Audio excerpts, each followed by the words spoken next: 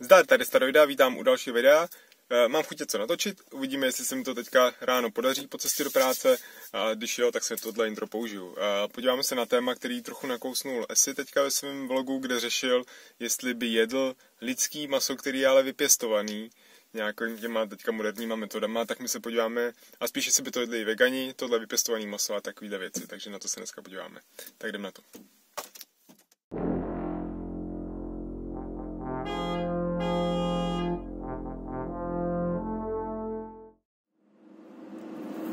Tak jo, outro už je natočený, muziku jsem si naposlouchal, Underworldy. A jdem na to.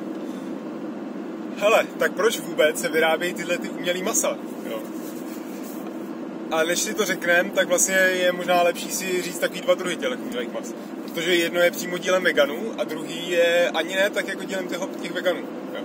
Ty první masa, které jsou ty umělý, to jsou prostě z rostlinných náhrad, že se dělají hmoty, které mají co nejvíce podobat prostě masu. Jo. Jsou známý značky Beyond Meat nebo uh, Impossible Food, myslím. A to jsou firmy, které právě dělají tyhle ty rostlinný masa, jo, tak znáte všichni sojový maso a pak nějaký ty sejtany a tak sejtan to je lepek. Ale pak různý ty roby a tohle jste mohli někdy vidět v nějaký zdravý výživě nebo vám to mohli někdo podstrčit, nějaký podrazák.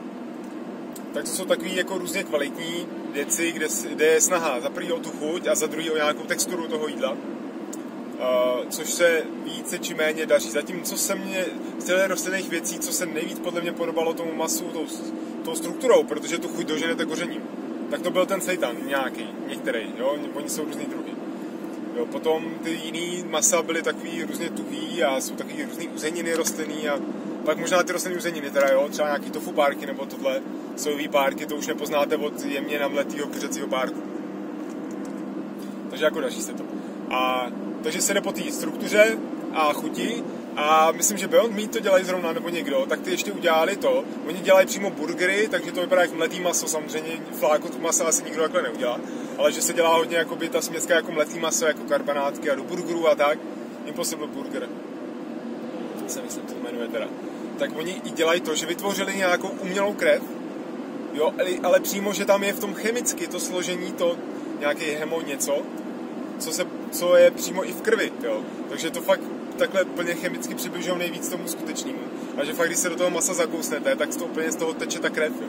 Tak tohle dělají a prý to vypadá fakt, když to pak vidí, vidí vegani na fotkách, tak prostě jim, už prostě to ani nechtějí jíst, protože to vypadá tak realisticky.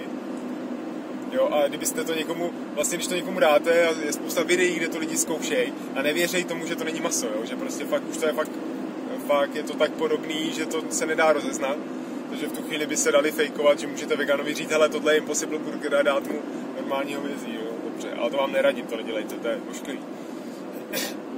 Takže to jsou tyhle ty rostliny a ty dělají přímo vegani.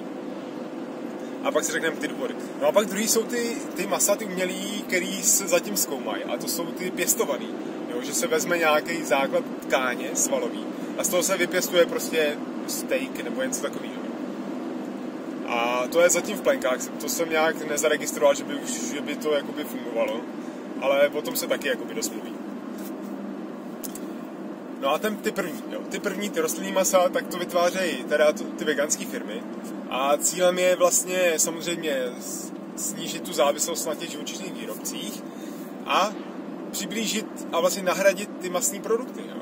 A to je častá výtka vlastně veganů. Proč vy jako nahrazujete tyhle ty masné produkty, když jako nechcete jíst maso, tak proč jako si děláte párky a proč děláte tyhle ty burgery a tak, proč si nejíte ty svý to zrní a tohleto, jo.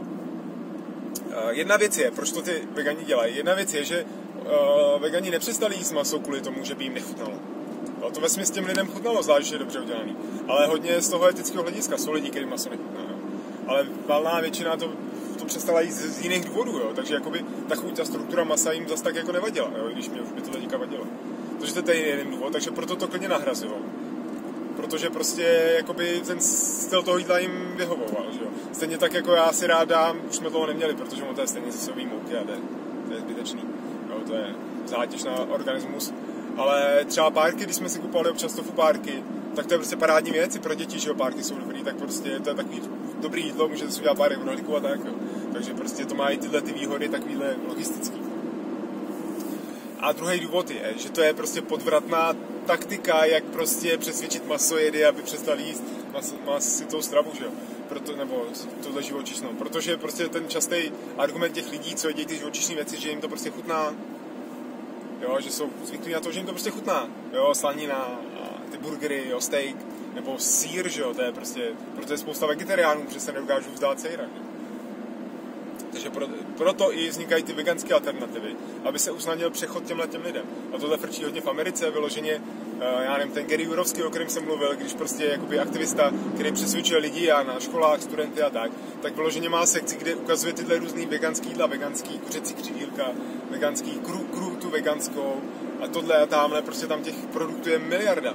Jo? Přesně kvůli tomu, aby ty lidi to měli nejsnažší ten přechod. Jo? Což je opravdu takový trošku no, pokrytecký, nevím, ale je to prostě úplně pragmatický uh, přístup, jak fakt co nejvíc lidí jakoby stáhnout z těch živočišných výrob, ať už z přesvědčení, ale i z těch ekologických důvodů a udržitelných a tak, jo. Protože přece jenom ty rostlinné věci jsou ekologičtější, teď záleží, což platí pro obě dvě ty metody, jak je to ekologicky jako náročný na výrobu a tak. Jo. A průmyslový, jak to je moc zpracovaný. Že fakt je lepší si radši dát vždycky ty fazole. A dá se udělat nějaký burger prostě s fazolí, nějaký z černý čočky jsem jedl jo, že to je taková jakoby rychlejší výroba, nemusíte kvůli tomu někde v laboratoři vyrábět prostě náhražku masa. Takže to je důvody pro tyhle ty rostliny. No a ty důvody pro, ty, pro to pěstování masa, tak to nevím, ty. Vlastně, jaký jsou důvody. Možná jeden z důvodů je taky tenhle ten. Ale to nevytváří vegani, jo. Ty si radši udělají tu rostlinnou alternativu, si myslím. Ty, ty mě předjíždíš, když já předjíždím, jo. No tak dobře, no. Tady jsou, to jsou ty úseky častých dopravních nehod protože ty lidi spěchají do polky do práce. Takže podle mě to pěstování masa je zároveň jako, že to je takový jakoby vědecký milník, že prostě když to bude, tak to bude super. Ale taky, že se prostě za se chtějí pěstovat i orgány jo, na transplantace, a kdy, který by šli vypěstovat vlastně z DNA toho příjemce, že jo? takže by to nebylo by tam ta nutní reakce. Ale přímo maso kvůli tomu, aby se nemuselo vlastně to, to maso pěstovat nebo jako chovat ty zvířata, tak se vypěstuje tohleto v té v laboratoři nebo někde pak průmyslově. A vlastně to i vede k nějakým potom replikátorům a k těmhle těm, jako že si namačkáte na automatu, co chcete za jídlo a vám prostě vypadne takhle to jídlo, prostě se zhmotní z ničeho a tak. Tak to je ta první věc. Uh, ty, pak, po, teď se chcem bavit o těch veganech, jestli by to jedli, nejedli. Uh, což už se nemusíme bavit o tom rostlinném masu, protože to ty vegani jedí. Jo. Možná by už se štítili takovým těm vyloženě náhražkám těm opravdu fungujícím, protože prostě už to je moc realistický. Ale určitě by to ty lidi zkusili, ale já bych to taky zkusil. Ty rostliny by mě vůbec nevadily, to bych klidně. No ale to pěstované maso, to je úplně něco jiného. To je... Tam, je to, tam se přesně ukazuje ta veganská etika a tam se to pěkně láme. Protože to veganství je založené na tom, že nechcete ubližovat nebo zneužívat, využívat prostě nadměrně nebo vůbec ty zvířata a tím pádem jakýkoliv živočišní produkty používat. Ale když se to maso vypěstuje někde v laboratoři, tak prostě žádnému takovému zneužití těch zvířat jako nedošlo. Teď je otázka, odkud se vzalo jakoby to DNA to zase je jako, že vemete jehlo prostě někde ze zvířete jednoho a pak z toho pěstujete furt ty masa. Ale nějaký ten rys toho tam teda asi vlastně jako bude. Že tady smrdí. Někdo tady s asfaltem asi. To mě, jsem si vzpomněl na jednu odbočku. Jak je ta firma ta Beyond Meat, tak jsem o tom říkal, že, že vytváří ty, ty náhražky masa, tak oni normálně museli, aby prošli legislativou, tak museli dělat testy na zvířatech.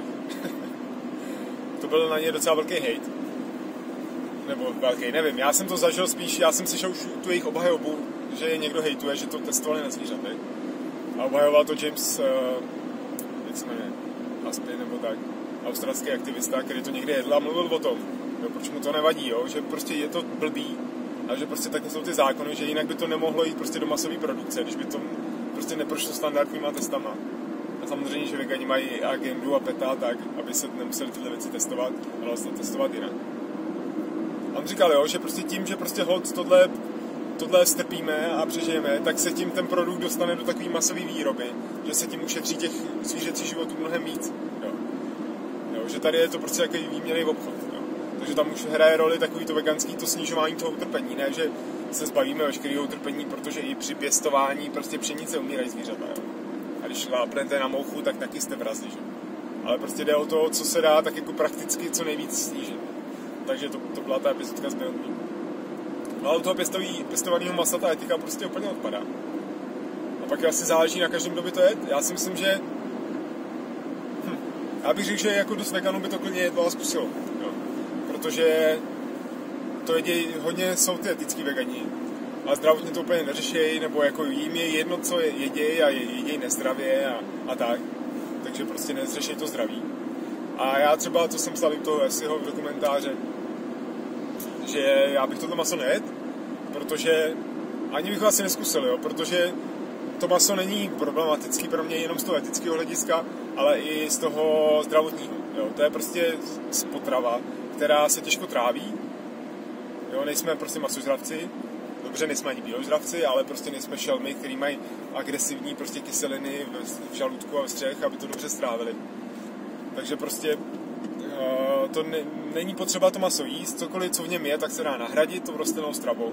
Takže já to maso nepotřebuju takhle jíst. To já chytnu dobře semafor, ne? Dobře.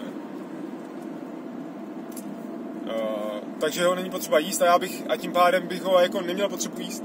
Jo, ani bych to pak asi nepochutnal, nebo jako, já nevím, jo. Kdyby se to naskytlo, tak bych možná to pochutnal. Jo, ale já už teďka jsem ve stavu, když si představím, že jim maso, tak mě z toho uh, jakoby je fyzicky trochu špatně. Ale oni už to přehodili. No, nebudu to projíždět. Občas to lidi projíždí na červenou, že když je semafor, ale teď tady jsou nějaký dělněsové, tak je budu trápit, aspoň to dotočíme v klidu. Tak skončil jsem u toho, že, jsem, že já bych to maso teda asi ne. Uh, je tam ještě jedna důležitá věc u toho masa, protože, a to je i pro ty, co to maso jedí, jo. Proto třeba hodně frčí, když to je taková moda, taky to grass fed, že jsou ty, uh, ten dobytek a tak, že jsou fakt krmený, že rostí někde na pastvě a že jsou fakt jako zdravě krmený, takže potom to maso je kvalitnější. Takže ono, to, i tohle se promítne do toho masa, je to, co to zvíře jí a kde žije, že jo, i jak umře a tak, takže to je součást toho masa. Určitě nějaký gurmáni dokážou poznat, odkud to maso pochází. Takže když si to maso vypěstujete někde v laboratoři, tak to bude v nějakém živým, živném roztoku asi, chemickým dá se říct. A to bude součástí toho masa, jo? nebude to maso, který je někde na louce vlastně vyrostlo, ale je to takhle, takže si myslím, že to nemusí být úplně chuťově prostě jako nějaký super a ale chybějí tam právě tyhle ty stopové prvky. To je to, co je vlastně, čím je dobrá ta přirozená potrava, na rozdíl od nějaký many a, to, a tohodle. Že v nějaký i blbým jabku nebo v čemkoliv, tak kromě těch hlavních živin a tak, tak tam jsou prostě stovky různých stopových prvků v takovém mixu, který nějakým způsobem fungují a my nevíme ještě pořádně jak. Tohle část jako výživy, která není vůbec jako vyskoumaná. A to platí jak pro rostlinní věci, tak i pro to maso. Takže to by v tom laboratorním mase chybělo. A poslední věc, co tam řešil asi ještě v tom, v tom videu, bylo právě to, že jestli by jedl takhle lidský maso vypěstovaný.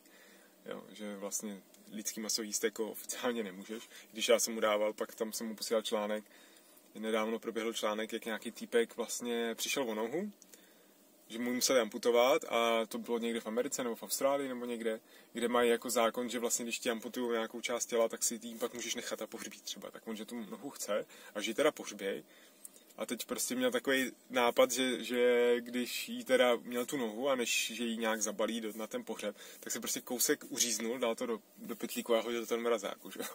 Protože se někdy dřív bavili s nějakýma kámošema, že kdyby měli možnost, že by ochutnali lidský maso, že?